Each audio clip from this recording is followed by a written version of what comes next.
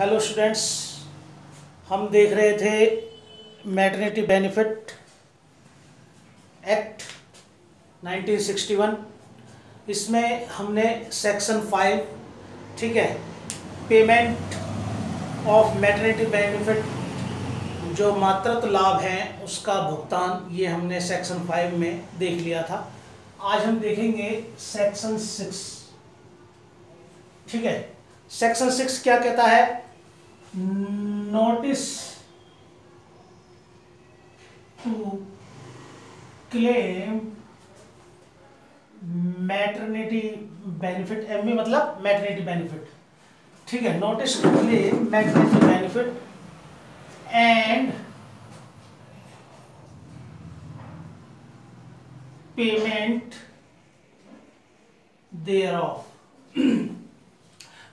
to claim maternity benefit and payment thereof ठीक है, उनका भुगतान कैसे होगा? अब इसमें देखते हैं। मान लो, मान लीजिए कि ये वुमेन एम्प्लॉय ठीक है, और ये इस एक्ट के किसी प्रोविज़न में क्या है?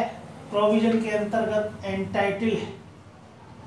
एंटाइटल्ड है किसकी?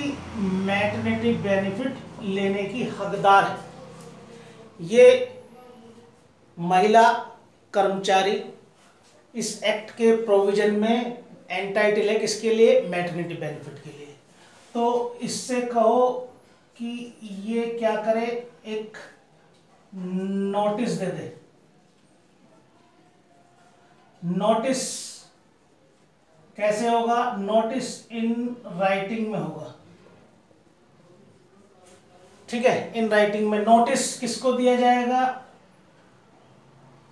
टू एम्प्लॉयर, जिससे वो wants to claim maternity benefit जिससे वो मैटरनिटी बेनिफिट मातृत्व लाभ का, क्लेम का दावा चाहती है। ठीक है जी, इस एम्प्लॉयर को नोटिस इन राइटिंग में देना होगा कि ये क्या करे, ये पेमेंट कर दे। किसको पेमेंट करेगा? उसको, खुद को, उस वुमेन एम्प्लॉय को, या उसके नॉमिनी को, कि उसको पेमेंट कर दे या उसके नॉमिनी को कर दे। और इस नोटिस में क्या करना होगा? एक्सप्रेसली ठीक है एक्सप्रेसली मेंशन करना होगा। क्या मेंशन करना होगा?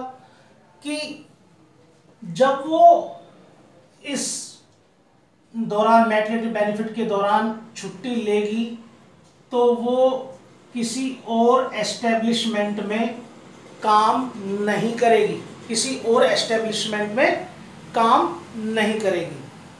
ठीक है? और अगर वो इस दौरान यहाँ पे मैटरनिटी बेनिफिट के लिए उसने छुट्टी ले ली, मान लीजिए आठ सप्ताह की पहले और अट्ठारह की बाद में और उस दौरान वो कहीं और काम करती, किसी और अदर एस्टेब्लिशमेंट में काम कर रही है तो मैटरनिटी बेनिफिट क्या हो जाएगा? फोर फीचर हो जाएगा, उसका समापन हो जाएगा। ठीक है? और इसमें, इस नोटिस में क्या करना होगा? आल्सो मेंशन करना होगा वो डेट जिस दिन से वो छुट्टी पर जाएगी। ठीक है, उस डेट को मेंशन करना होगा जिस दिन वो छुट्टी पर जाएगी। और ये जो नोटिस है, ठीक है, ये वो बिफोर डिलीवरी बिफोर डिलीवरी दे सकती है और नहीं दे पाई किसी वजह से तो कह दो आफ्टर डिलीवरी दे दे। ठीक है आफ्टर डिलीवरी दे दे। और मान लीजिए ये नोटिस उसने दिया ही नहीं नोट गिवन नहीं दे पाई किसी भी वजह से तो भी वो क्या होगा? एंटाइटल होगी। ठीक है एंटाइटल होगी किसकी? मैटरनिटी बेनिफिट को रिसीव करने की। मैटरनिटी बेनिफिट प्राप्त करने की अधिकारी वो बनी रहेगी। नोटिस क्या है? औपचारिकताएँ हैं, प्रक्रियाएँ हैं। इस एक नोटिस न देने पर हम उसको मैटरनिटी बेनिफिट से वंचित नहीं कर सकते, ये बात आप समझ नहीं भी दिया कोई बात है तब भी एंटाइटल बनी रहेगी। अब बात आती है कि इसका पेमेंट ठीक है?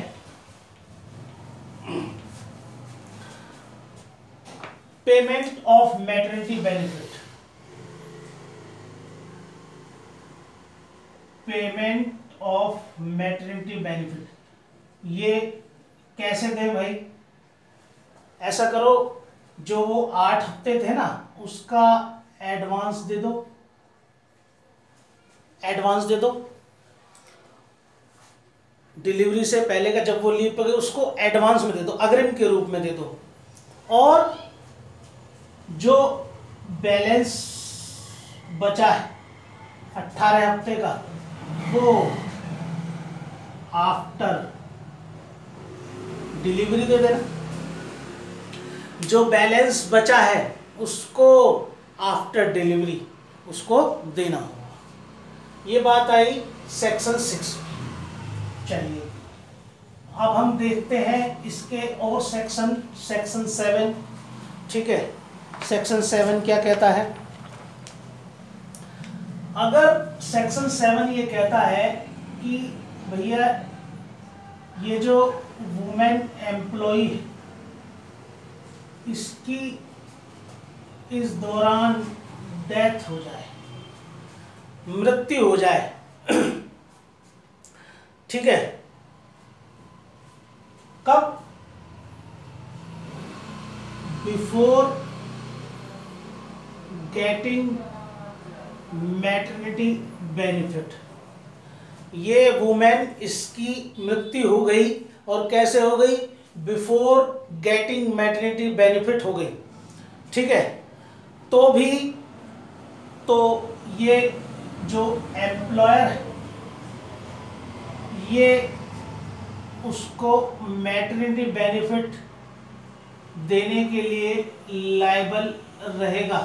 उत्तरदायी रहेगा। इसके, ये ऐसा नहीं कि उसकी मृत्यु हो गई तो वो फ्री हो गया भाई अब मैटरनिटी बेनिफिट नहीं देगा। नहीं, देगा। किसको देगा ये मैटरनिटी बेनिफिट किसको देगा? वो तो है नहीं। तो ऐसा करो, जो उसके नॉमिनी थे, जिसको भी उसने नॉमिनी बनाया, ठीक है, उसको नॉमिनी को दे दे। नई नॉमिनी नहीं बनाया था। तो जो उसके लीगल एयर्स हैं, लीगल एयर को दे दे, ठीक है? जो उसके कानूनी उत्तराधिकारी हैं, उनको दे दे। तो इसकी लाइबिलिटी एम्प्लॉयर की लाइबिलिटी इसकी डेथ भी हो जाए तो भी बनी रहेगी। ठीक है? सेक्शन एट ये क्या है? ये मेडिकल बोनस की बात करता है। मेडिकल बोनस, ठीक है? और ये कैसे दिया जाएगा? ये in addition to maternity benefit.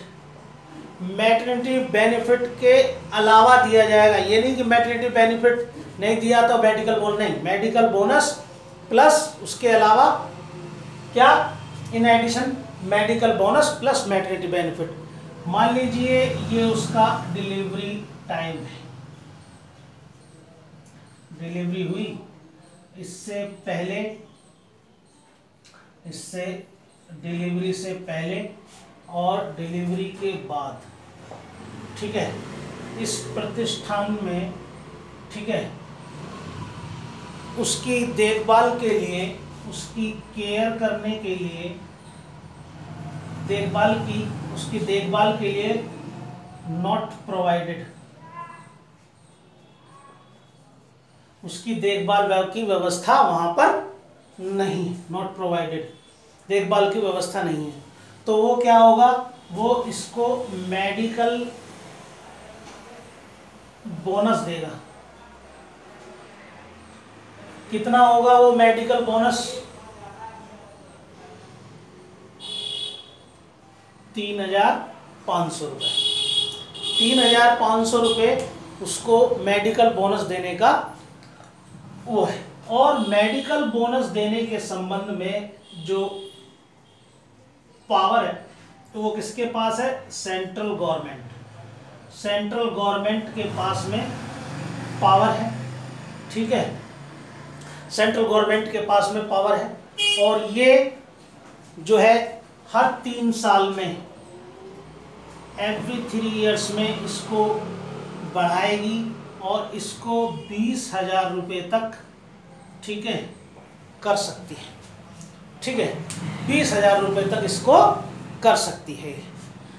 तो ये हमने मेडिकल बोनस देख लिया और सेक्शन सेवन में की पेमेंट देख लिया मैटरनिटी बेनिफिट की।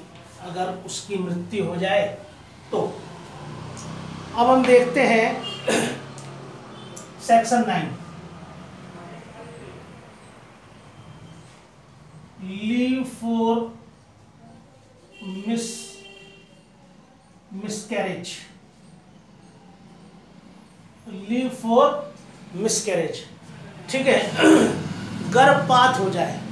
मिसकैरेज हो जाए तो इसमें लीव का क्या प्रोविज़न है? चलिए देखते हैं। मान लीजिए कोई मिसकैरेज हो जाए, या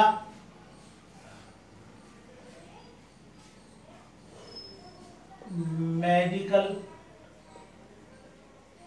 termination of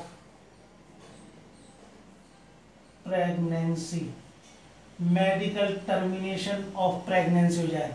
क्या हो जाए? मिसकैरेज हो जाए या मेडिकल टर्मिनेशन ऑफ़ प्रेगनेंसी हो जाए। ठीक है? तो इसमें सिक्स वीक्स सिक्स वीक्स का छः सप्ताह का, उसे क्या?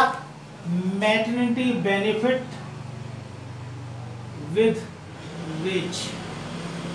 ये दिया जाएगा। अगर मिस कैरेज हो जाए या मेडिकल टर्मिनेशन ऑफ़ प्रेगनेंसी हो जाए तो क्या छः सप्ताह का उसको मैटरनिटी बेनिफिट विद वेज ये प्रोवाइड कराएगा कौन? एम्प्लॉयर ठीक है? इसमें इसका एक सेक्शन और देख लेते हैं नाइन ए नाइन ए क्या है? ये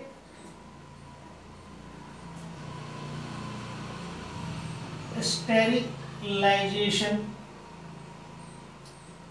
स्टेरिलाइजेशन से रिलेटेड है, बंध्याकरण ऑपरेशन से रिलेटेड है।